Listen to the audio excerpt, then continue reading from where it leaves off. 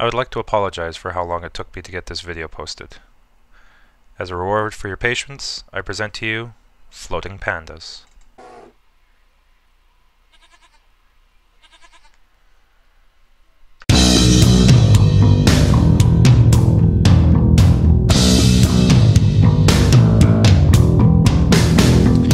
Alright, welcome back everybody.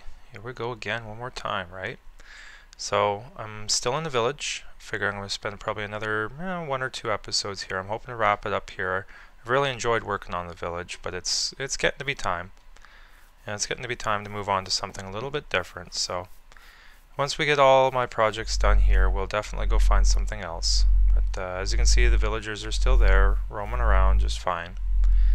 And uh, I've got a couple more things I want to do with them, and then we will move on. So it occurred to me earlier that uh, there's one thing I never did show. Where am I looking here? There we go. Um, suggestion came up. The idea with the church here was to put in a graveyard. And I thought that's a fabulous idea. So I've got a little graveyard back here. I put in some headstones, and yeah, they're all a little different. I haven't labeled them or marked them or anything, but they're here. They're a little weathered, you know, they've, they've been here a while. And uh, over here, you know, a little memorial to the uh, to the fallen soldiers, the fallen warriors. They uh, they they may go by many names, they may go by no name at all, but they they fight for everybody, and sometimes they they need a place to be remembered. So we have that, and that'll be there, and and hopefully I won't have to add to it. You know, it's it's kind of uh, and kind of in memorial to the villagers that were originally here. You know, we we made a bad move and lost them all. So now that we have our new villagers, they've kind of settled in here. Uh, one thing I have been planning, uh, of course, with the villagers that just don't quite uh, get along, we're going to send them to the jail, which is over there. And uh, I've, I've put in this hole. This tunnel actually extends all the way over. Uh, I probably won't run the whole thing, but I did get it cut. It goes all the way over to the jail, right up to the jail entrance. So I will be laying track and I'm going to spruce this up a little bit, make it look fancy, a little subway station style uh, stairwell into a, a waiting room so we can send them off. And uh, that'll be probably just a small side project. You won't see a lot of that because the big deal right now is the villagers that we do like. Um, someone like this guy right here. He's got the diamond axe, and he will have a his own little booth. We're going to build ourselves a marketplace, so that's what I have this space over here for. Been kind of waiting, saving it for the market. And, you know, that guy, he has the diamond axe, so he's going to be kept. I have a blacksmith running around here. He's got the diamond sword, which is a good one. And I have a butcher, which has some very generous trades. Uh, I'm not sure where they are right now. I'll have to track them down. Are you Axeman? Yeah, you're still Axeman. And... Are you the butcher? No, you don't have much. You're just uh, cooked steak. I don't know if I'm going to deal with you or not, but we'll see. I did have a uh, butcher around here, but I don't know where he is right now. So yeah, that's what we're going to do. We're going to build a little marketplace right in here. And that way I can store the villagers that I like, and I can ship off the villagers that I don't like. And I'll probably leave a couple, uh, uh, we'll call them a breeding pair, and we'll secure them somewhere so that as the population decreases, they can supply us with new residents. And, uh, and that's what we're going to do this time. Where are you? Ah, here we go. The raw pork chop and coal. Uh-huh. And uh, uh-huh. right now that's as far as I got. So the uh-huh. raw pork chop and coal will be good. Hopefully he's got some better trades further down the line. Otherwise he may be, be may find himself useless. So right now raw raw pork chops and coal is pretty good. Alright, yeah, you stick around. Yeah, we'll deal with you later. Ah. And oh, and here's a cooked pork chop guy. So we'll see. We'll see what happens. Ah. Alright, so I'm going to go ahead and get started in clearing that area ah. and setting up the marketplace. And we'll be right back.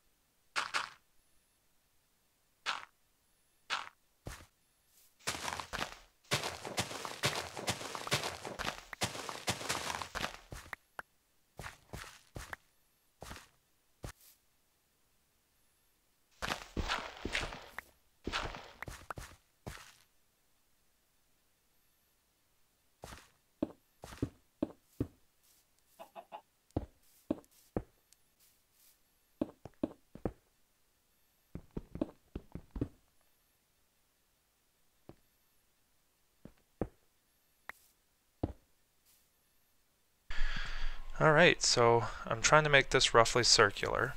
Uh, it's not going to be perfectly circular, but it's going to be roughly. And it's going to go around. I'm following a pattern I developed earlier, so I'm kind of switching back and forth between here and the design I had. And I know that it roughly should look like this. And, oops, that's not right.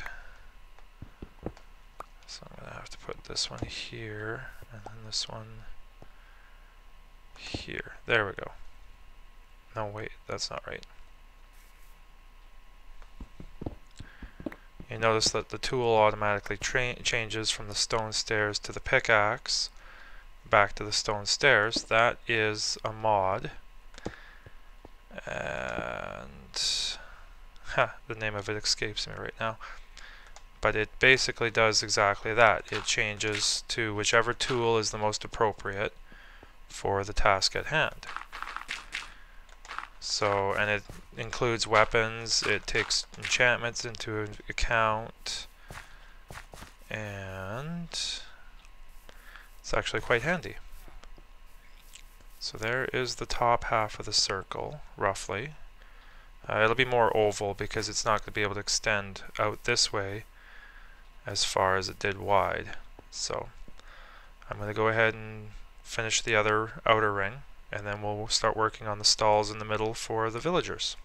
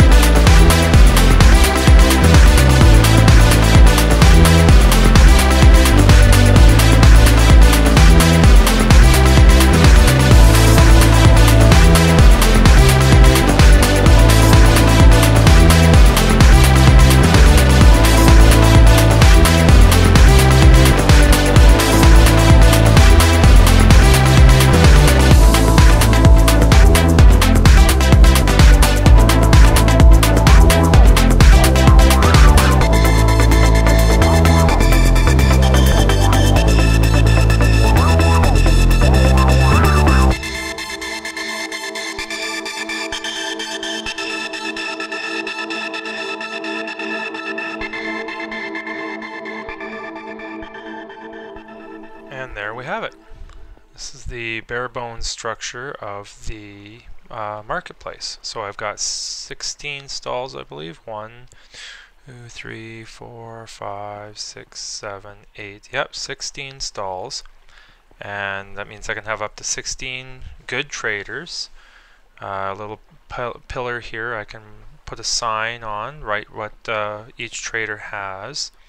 Something good, hopefully. Or even place it up here above their head and I will do the awning up here once I collect enough wool. I realized I didn't have much in the way of wool. So once I collect enough wool, I will go and stretch out the string and lay the carpets down for an awning to give them some sun protection, you know, and doesn't really protect from the rain. I noticed the rain kind of goes right through the carpet, but at least it will be, you know, a little bit of a shelter over top because this is basically where the villagers are going to stay. They don't have much of a choice in the matter because I'm going to lock them in. I put some, in my uh, practice design, I'd put some gates here so they stay in there. I did put torches in though. If I light up each stall, that way nothing accidentally spawns in behind them. Can't really trust the lighting in a place like this next step will be to finish the little subway station here and start shipping the less desirable uh, villagers over. Hello, snail. Yeah, hide from me. Hide.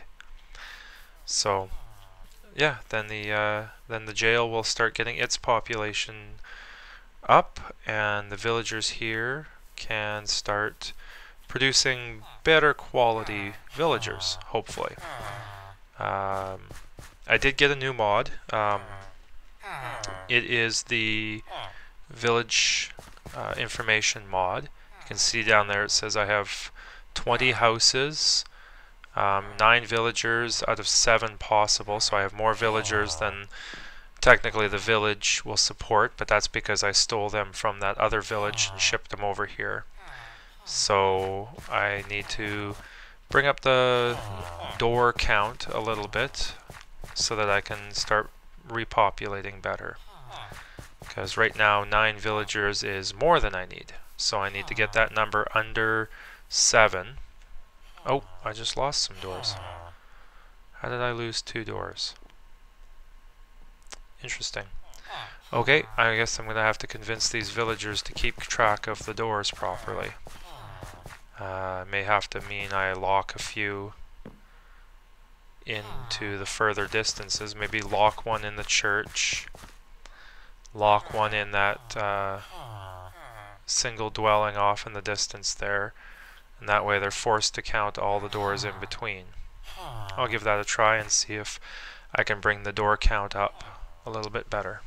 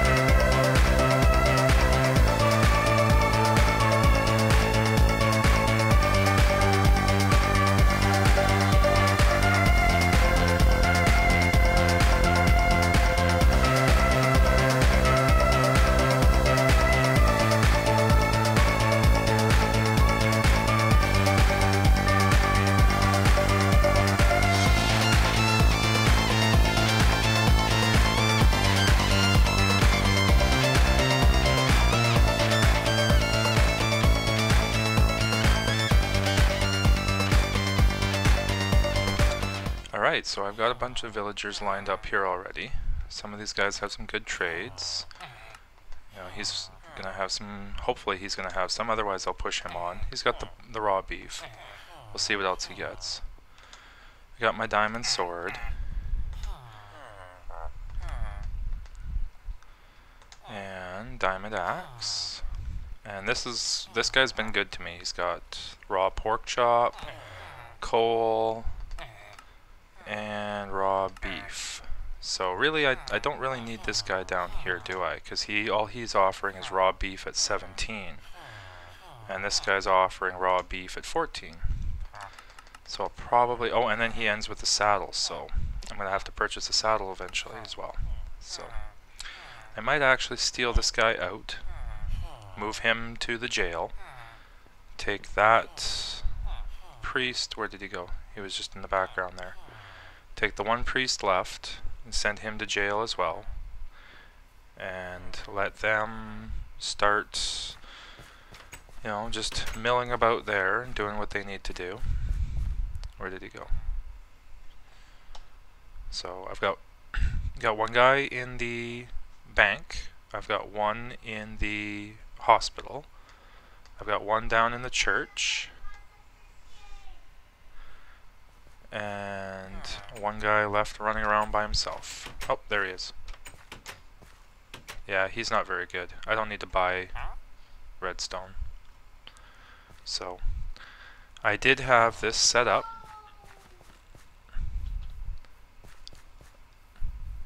I've got the tunnel down to the jail. So I think it's time to use it. And there you have it. I now have two villagers in jail and they're already starting to produce offspring. Getting busy, aren't they? So that's uh, that was the goal anyway. Bring them over here, get them all situated, bring up the population base here. If the uh, villagers here prove worthy, we'll ship them back to the to the uh, marketplace, and if we don't like them, they can just stay here. And we'll see how many this little setup produces. So there's the other one there. And uh, we'll we'll keep an eye on these guys, make sure they're doing their prison duties. And uh, yeah, so I'm going to take a quick trip back to the village. And probably time to wrap it up. I gotta set up some farms for trading, but that's not really uh, going to be all that interesting. I've already got the farm set up over at the uh, other area, so just have to duplicate that over here. I got another villager. This one has a diamond sword. So I'm going to have to push him over to the marketplace because he will be valuable. His diamond sword is 12 emeralds. I believe I already have one with a diamond sword, though. And I think his diamond sword is 13 emeralds. So his is just a little bit better. Um, I did find a couple of dogs. I got them following me now. Um, give me an opportunity to play with the doggy treats mod, which I have, and I'm going to be making up some doggy treats to get them trained up, get their levels up, get them good guard dogs. Alright, so normally in this section I would be doing some cooking for myself. But since I have the doggies here, and I do have the Doggy Talents mod, I'm going to prepare some treats for them. I've already done one here, got this dog trained. He's uh, been trained and named, and I've got a couple of excuse me, skills on him already. Now in order to bring these up, you need a stick. So you take the stick and see there. So I've put some levels into, or was it Fisher Dog, as well as Hunter Dog, and Pack Puppy allows him to carry some items. And I think that was it for this one. Yes. So I still have to train this dog. See, he's not trained yet. He's still just a tamed wolf. So in order to bring them up to the doggy status, you have to make a treat. And that takes a bone, some string, some gunpowder for some reason, three sugar, and three wheat. And you get the basic training treat. Training treat allows you to... Now he's a puppy dog. Because when you bring the stick, now he has his stats. 15 points. Uh, I think this one, I'm going to make a shepherd. And perhaps what else? So he's a shepherd and um, you know, let's just sink them all into shepherd for now. Let's Get him up to level 5 shepherd. This allows me to carry around some livestock. I'm going to need his help for when I set up the farms because I still need to get my trading routes set up. So we'll do that for now. And I guess I need to name him still. Uh, what should we name him? Hmm. There we go. I always like that name for a dog. And he's hungry, so we'll take some steak. And we'll give you bring you back up to 120 and bring you up to 120 as well. There we go. See? And that's how you tame your dogs. Now the other treats